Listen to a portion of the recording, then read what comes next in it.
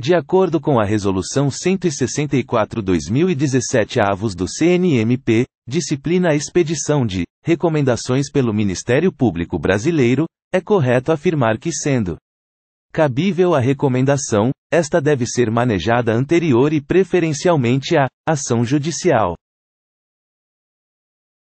Analisando a questão, você responde verdadeiro ou falso.